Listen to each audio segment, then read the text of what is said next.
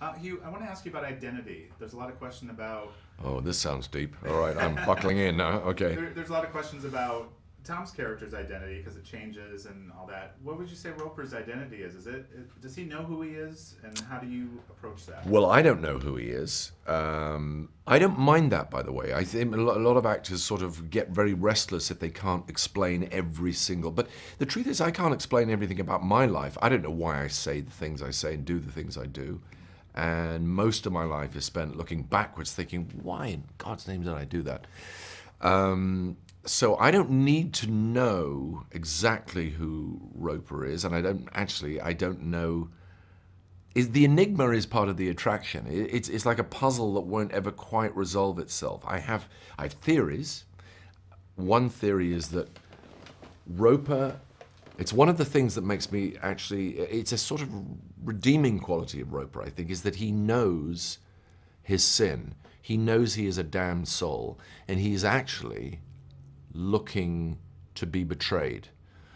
At some level, he is actually choosing his own Judas uh, because he knows that his time is limited and he wants to take control of how he is betrayed.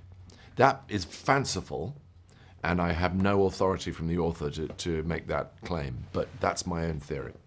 When we when we see Corky kind of getting shoved out and Pine getting drawn in, are that are they just interchangeable people to Roper, or does he not need Corky anymore and he sees he needs something from Pine? How I think, no, well, I think there was a time when the bond between Corky and Roper was very, very strong. I, I, I pictured um, Corky uh, making Roper laugh a lot, and he was like the, the he was the um, he was the clown to the king, and uh, the the the, uh, the king kept him around because he found him uh, immensely entertaining.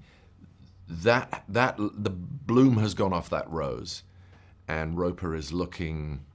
I don't think they're interchangeable exactly, but I I feel there's something fairly ruthless in the way that Ro- Roper uh, has assembled his court. He wants a certain cast of characters around him. He wants certain.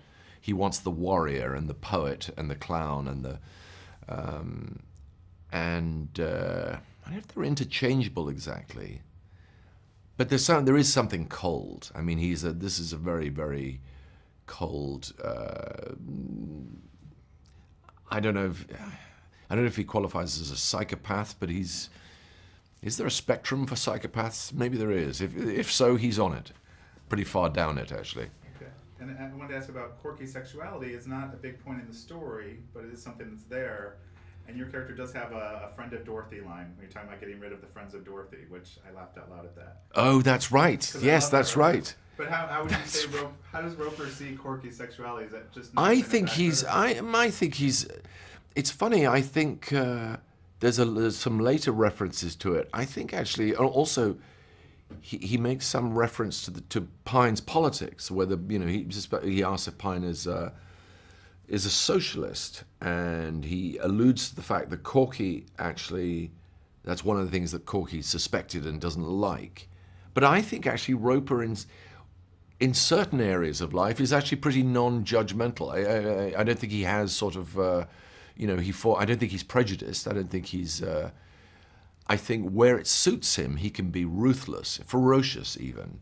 But in other areas, I think you know um, he he can be fairly easygoing uh, and enjoy um, people for who they are. Uh, it seems like an unlikely mixture, but it sort of made sense to me at the time somehow. Did you have a favorite location? The locations were gorgeous. Did you have one that stuck out? They're just preposterously gorgeous. I mean, we each one more gorgeous than the last, uh, and we and we began with the Matterhorn. So we and we only went up from there. Can you go up from the Matterhorn? Not by far. Um, Mallorca is absolutely astonishing. I'd never been there before, um, and uh, it was just uh, eye-wateringly beautiful. Um, and I, I can only apologize. It's one of those things that actors get from time to time. I promise my next role will be a coal miner, and I will embrace it and, and with the same relish. Uh, that's all I can do. I, but we got lucky. We struck it lucky with this one.